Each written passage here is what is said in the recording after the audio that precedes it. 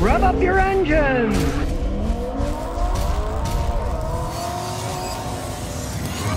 Mo says I have a 1986 Ford Ranger. I parked it a few months when I jumped it. I had the polarities wrong. Do you think the battery's toast? They're not made to be sitting for long periods of time, but you did more damage than that. If you reverse a polarity and jump it, and you turn that key on, it could have fried all kinds of stuff. Could have fried the alternator, could have fried the main computer, the PCM, blown a bunch of fuses.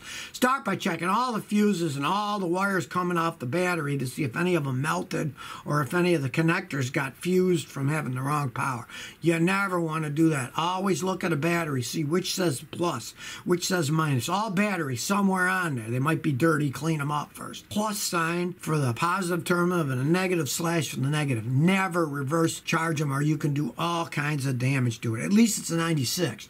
On a modern car, it can do thousands and thousands of dollars of damage. On those, it usually does a lot less because they're a lot less computerized than any modern cars. They still have computers on them, but nothing compared to the new ones. Joseph S.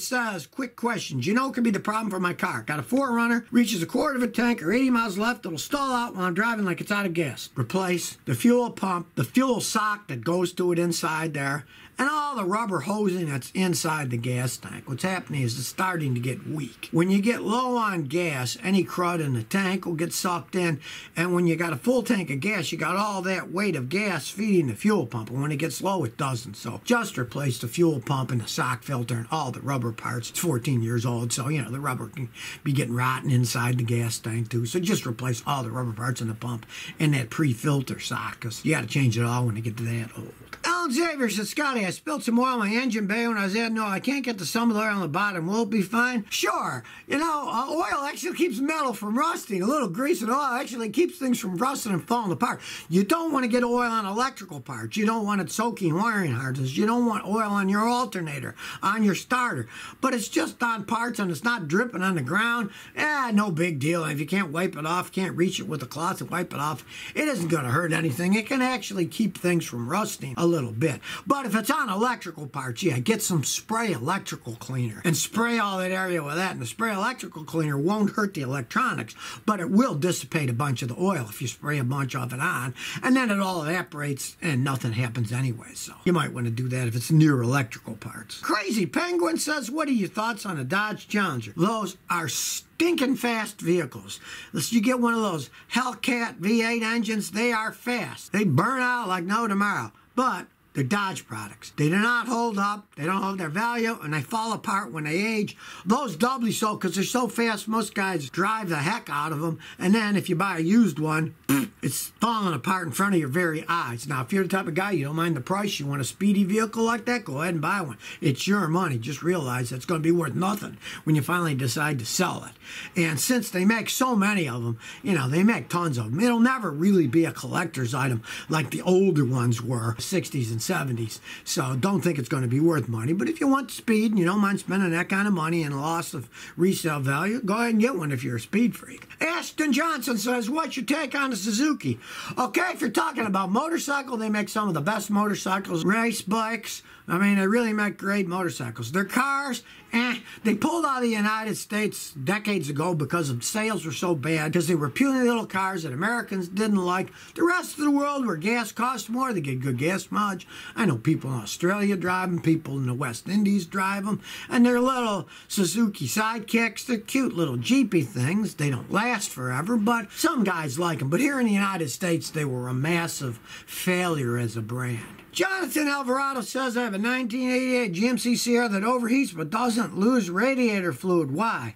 All right, it's overheating, it's not losing radiator fluid. First, change the thermostat. If the thermostat's stuck shut, it'll overheat because its coolant's not going through the system. If the water pump isn't working, it's not pumping. It'll overheat, but you won't lose any coolant. Now, of course, if you drive a car any period of time and it's overheating, it's going to lose coolant because it's going to start boiling stuff out. But pray it's just a bad thermostat. Pray maybe the water pump's broken, but you're going to lose coolant over time. Or probably the radiator's just all worn out and clogged up and you need a new radiator. Because if you do drive any car that's overheating any length of time, it is going to eventually lose coolant because it'll get too hot and it'll start bubbling out. Douglas Gomez says, is a Mitsubishi 3000 GT a reliable car? In one word, no.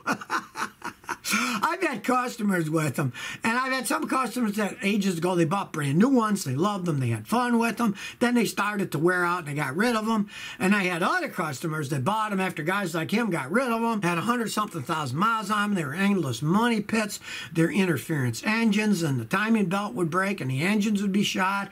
And then they weren't going to spend five six grand rebuilding the engine. They just got rid of them. They're good looking cars. They're sharp cars, and they were fast, but they're not reliable in the long run, especially if they had automatic transmissions. But they were fast cars. A lot of guys like driving them, but they're not a type of car you would ever want to buy used with high mileage and think it's going to last long. It'd make a good lawn ornament to park in your front yard and clean it up, but not as an everyday driver, that's for sure. John M says, which aftermarket direct fit catalytic converter would you recommend? Well, I'll tell you, I've had good results with Walker, that big muffler company Walker. And I have bought Walker direct fit cats for customers, and they always worked quite well. Now, realize, at least here in the United States, by federal law, they have to guarantee them. So let's say you bought one and you bolted it on and it still wouldn't work right they have to give you your money back by federal law. You'd send it back and they'd have to refund your money. So you're not gambling, at least in the United States, because if it does go bad, they got to give you your money back if it doesn't work. And the Walker company's a pretty good company. And every time I bought a Walker aftermarket direct fit cat, not the well done ones, but the ones that just bolt on, they worked fine for my customers, so I pretty much stick with them. And they don't pay me any money either, so don't think Scotty's a shill here. I don't know anybody at Walker. I mean, we used Walker mufflers when I was a kid. I had grandfather's garage. Anthony Padilla says, Scotty, what's the best way to clean the valves on a GDI engine? Well, the absolute best way is to pay a mechanic like me. We have special machines just for cleaning GDI engines. It's like a four-step process using a very expensive machine that costs about 2500 bucks and some very complex chemicals, and not just one set of chemicals, a bunch of different ones at different times you use different chemicals. Now, if you want to try it yourself, yourself. There are GDI cleaners that you can spray into the intake and they work okay. You could try that. I got a video on that. GDI valves on an engine, Scotty, and it'll show you the video and you'll show how easy it is to spray the stuff in. Give it a try yourself. But we mechanics have machines that do it a really well job. They're computer controlled. They're not just guessing by squirting some stuff in. So that's the absolute best. But you go watch my video, buy a can of the stuff. It's like eight, ten bucks for the can. Give it a try and see what happens. Denzel Crocker says, what is the best first car? Okay, the best first car is a car that doesn't cost much and doesn't break. Depends if you're talking new or used. If you're talking used, I'd say go out and get an older Toyota Corolla or Toyota Camry if you want a little fancier one. The Camrys are a lot fancier. You get a better ride. They both can last a really long time. You're going to save money getting an old used one. Maybe you're going to wreck it. Who knows what's going to happen, right? But if you're talking new, I would say just stick to like the Corolla because it's somewhat lower priced car. I wouldn't go even lower ones because then they're not as well made. A lot of times they're not even made by the company. Like the cheapest Toyota really isn't a Toyota. It's made by Mazda. You want to get the company that actually makes it. They're better cars, not one that they farm out from somebody else. And I just say Toyota Corolla. My son just bought one. He's real happy with it. It wasn't his first car, of course, but it's the first car he paid his own full price for, so. Stan the Man says, Scotty, have you ever worked on Detroit diesel two stroke 71 or 92? And what do you think of those old Greyhound buses and such? My grandfather's day, I did when I was real young mechanic. We had customers with them. They were solid built engines. There's no ifs, ands, or buts about that.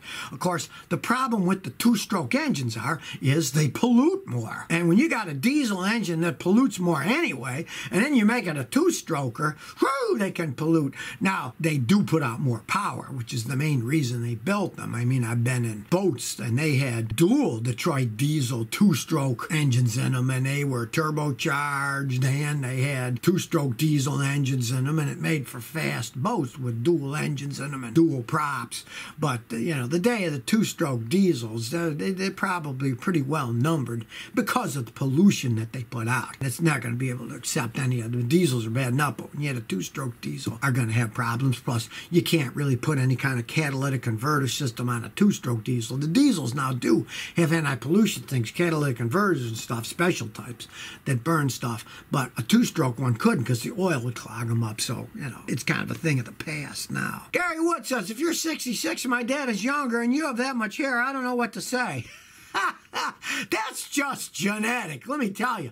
My great grandfather died in his sleep when he was 95 years old, and he had a full set. He had more hair than me, but it was all gray. It was totally gray. That's just pure genetics. There's nothing you can do about that. You know, I mean, I'm sure they got all these hair saving nonsense that people have and transplanted hair and all that stuff, but that's just pure genetics. It's the luck of the draw. You know, I know guys who went bald when they were 29 years old. Like I say, my great grandfather was 95 and he still had all the hair on his head, so. So if you never want to miss another one of my new car repair videos, remember to ring that bell.